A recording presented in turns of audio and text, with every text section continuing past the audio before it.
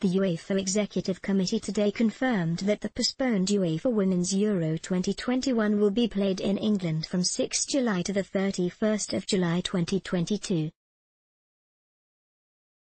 It is planned to use the same venues that were originally proposed to host the event. Commenting on the rescheduling, UEFA President Aleksander Ceferin said, when we had to take an urgent decision on the postponement of UEFA Euro 2020, we always had the impact on UEFA Women's Euro 2021 in mind.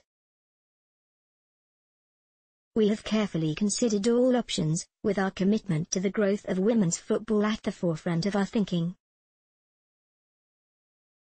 By moving UEFA Women's Euro to the following year, we are ensuring that our flagship women's competition will be the only major football tournament of the summer, providing it with the spotlight it deserves. The decision to move UEFA Women's Euro came after UEFA announced on the 17th of March that UEFA Euro 2020 would be postponed to 2021 following the global outbreak of COVID-19 and the duty of UEFA to protect the health of all those involved in the game, while allowing domestic leagues and European competitions to be completed. Extensive discussions leading to the move included talks with organizers of the Birmingham 2022 Commonwealth Games, with whom UEFA and the English Football Association continue to work with collaboratively to ensure that 2022 provides a memorable summer of elite sport. UEFA's chief of women's football, Nadine Kessler, said, The core question guiding us together with the English FA was, what is best for women's football? With the Olympics now being confirmed for summer 2021, we, firmly believe that moving to 2022 is in the best interests of the tournament, the players, the fans, women's football partners and everybody involved in all areas and at all levels of the game. UEFA Women's Euro is Europe's biggest women's sport event. It is also among the biggest sports events in the world, and therefore needs and deserves a platform of its own. This decision puts us in a position to deliver a tournament that attracts global attention, maximizes media coverage and increases stadium attendances, and is therefore helping us to meet our core objective of inspiring the next generation of footballers. 2022 also allows for further promotion and partner activation, which would have been much more difficult in what is now a crowded summer in 2021. It is a clear sign of commitment to our dedicated partners who have joined us since we decided to separate the sponsorship of women's football from men's football.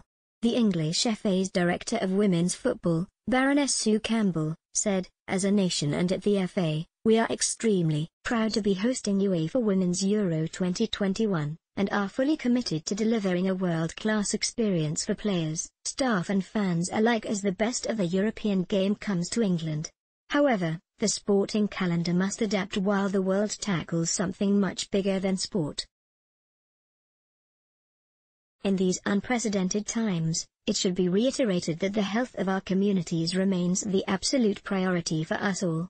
As a result, following discussions with UEFA, we fully support its decision to postpone UEFA Women's Euro 2021. We agree that this decision will ultimately benefit the tournament, creating its own window in the football calendar.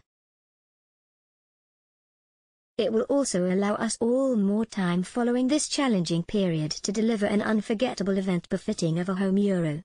We have made excellent progress in the planning of the tournament to date and particularly want to thank our host cities and venues for their ongoing commitment and support. We are also grateful to the Commonwealth Games Federation for its collaboration as we sought to confirm these new dates, and look forward to working together to showcase the best of women's sport across both of our events.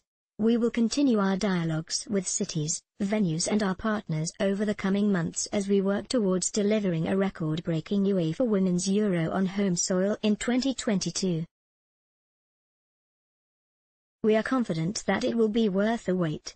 UEFA President Aleksander Ceferin added, I would also like to thank the Football Association, the local organizing committee and our member associations, who are as convinced as we are that the postponement to 2022 will be to the benefit of women's football at large.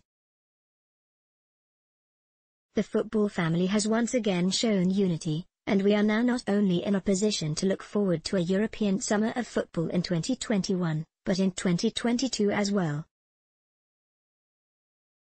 We are grateful for the cooperation of FIFA and the Commonwealth Games Federation in arriving at these dates. Further details, including potential amendments to the match calendar or the name of the tournament, will be announced in due course. Let's block ads. Why?